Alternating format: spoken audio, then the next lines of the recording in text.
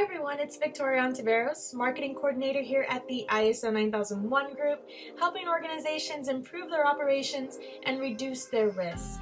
And as you can see, um, my setup here today for this episode of ISO Wake Up Call is just a little bit different. Um, I do still have my mug, but in an effort to prevent the spread of COVID-19, I am currently working from home remotely for the ISO 9001 group. Now, for those of you who have also found yourselves working remotely, I thought it'd be helpful to share some tips on how you can stay successful while working from home. Because ultimately, no matter where we work from, our teams are still relying on us to still deliver the same consistency and quality in our work, and our customers are still relying on us to provide the same level of customer service. So hopefully these tips will help you in staying successful while working remotely. The first tip I want to share is to stick to your schedule. If your normal work hours are from 8 to 5, I encourage you to log into your online environment and maintain those same working hours. Um, I know it can be difficult maybe to separate your personal um, activities from your work activities, especially when you're working in your own personal space, but you just have to have that level of discipline to still maintain your normal working hours and your normal working schedule. Now, when I talk about sticking to your schedule, that could also mean taking the time to actually get ready as if you were going to work. Um, we might be really tempted to put on our sweatpants, put on a t-shirt, and get work done that way. And for some of you, that may work.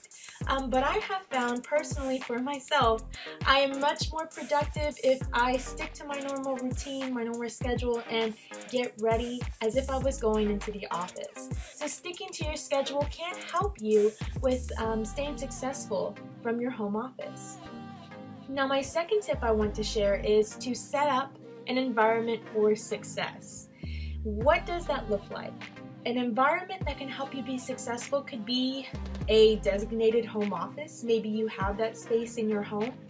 It could also be a desk, um, just a quiet, clean space, free of distraction where you are able to focus on your work activities, right? So just making sure you have all the equipment you need, whether it's a laptop, a headset for calls, um, any other equipment you would need to kind of replicate the same environment as if you were in office. That's going to help you um, stay successful.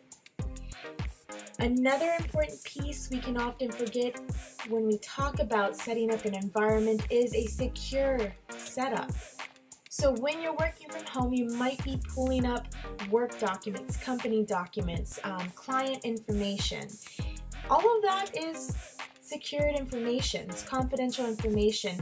That can be put at risk if you are currently not working on a secure internet connection right? So ensuring you're only connected to a trusted your home Wi-Fi and making sure that's secure. That information could also be at risk if the device you're using, whether it's a computer, a laptop, is not currently installed with an antivirus software. So using an antivirus software on any devices you're using to work is going to help you protect your company information, your client's information, and even your own information from being a target for information security and cyber attacks, something we might not think about. So setting up an environment for success. The last tip I want to share is to stay engaged, stay connected with your team. When we're working in a setting where it's just us, it might be easy for us to put ourselves in a bubble and to kind of feel isolated, to just focus, um, narrow our focus on just our activities, and we might lose that connection that we have in office. Maybe you're used to going into your coworker's office and just asking a simple question. And just because we're working remotely doesn't mean we should lose that same ability to communicate. So I encourage you to take advantage of maybe video conferencing software or emails or chat applications that can help you stay connected and keep the lines of communication open with your teammates and with your colleagues during normal work hours. That is very important in maintaining your company culture and just keeping everyone engaged throughout the workday. So the three tips again are to stick to your schedule, set up an environment for success, and stay engaged and connected with your team. So hopefully you found this video helpful if you're looking for tips on how to stay successful while working remotely. If you did, I would really appreciate if you liked and shared this video with someone else who could benefit. And if you have any other suggestions or any other tips to help everyone that's working from home uh, stay successful, please comment down below. I'm Victoria Ontiveros, Marketing Coordinator here at the ISO 9001 Group, helping organizations improve operations and reduce risk.